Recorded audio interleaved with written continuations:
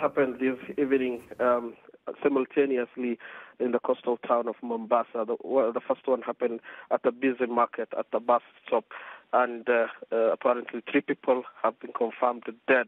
Uh, there is possibility of death toll rising. Police are on the scene, and police uh, boss uh, Robert Kipton spoke to the media saying they are there, they are in charge, and there's no need to panic. The other one happened at a hotel that's frequented by tourists, uh, a very secure place. Those people who have expected uh, the security to be very tight. Um, there is no, there, there are no reported cases of casualties in that second blast. Uh, the situation appears to be calm. Police are doing the investigations, and um, this happens uh, just a few weeks after a huge explosion uh, happened in Nairobi, and there's a security crackdown that has been going on in the country for the last uh, uh four weeks.